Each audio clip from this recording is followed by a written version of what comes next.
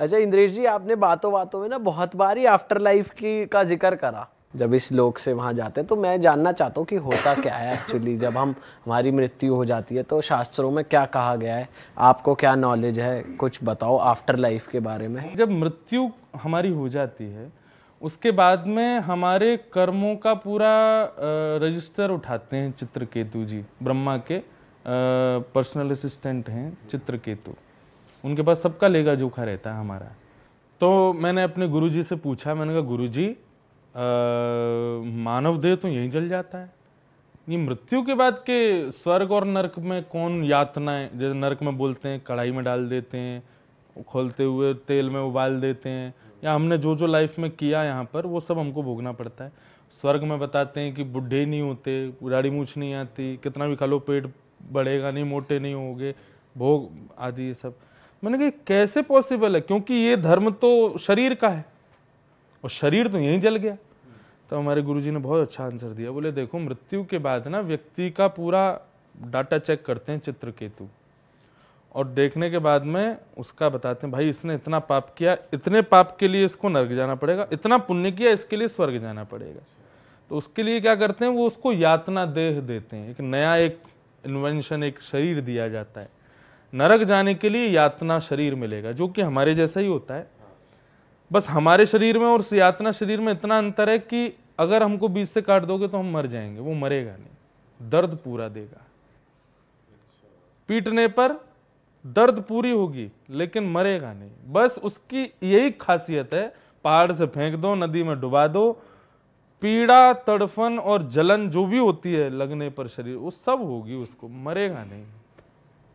मतलब बोले, गुरुजी कि जब श्लोक सुना रहे थे कि जब व्यक्ति नरक में यातना है, भोगता ना तो वहाँ यमराज से बार बार कहा, मुझे मार दो, मुझे मार दो, मैं मर क्यों नहीं रहा हूँ? बोले, मरेगा नहीं, यही तो बात है, बेटा, क्यों भोगा? तेरे को कितनी बार कथाओं में रोका गया, कितनी बार गुरुजनों ने मना किया, ऐसा नहीं करना। माना तू? नहीं माना ना? भोग। उसको पूरी वो यातनाएँ दी जाती हैं, जो मृत्यु से भी भयाभय होती हैं। मृत्यु तो एक प्रकार से छुटकारा है, चीज़ों से। उसको जीवित रख करके वो सब दिया जाता है। फिर उसको भेजा जाता है स्वर्ग, जो उसने थोड़े बहुत पुण्य किए वो भोगने के लिए। वहाँ उसको मिलता है भोग देह। तो दो देह हैं, यातना देह और भोग देह। देह मतलब शरीर। भोग देह को कितना भी खिलाओ, कितना भी पिलाओ, कितना भी कुछ भी कराओ, वो कभी थकेगा नहीं, कभी मोटा नहीं होगा, कुछ भी चीज़ों से तृप्त नहीं होगा, सब चलता है।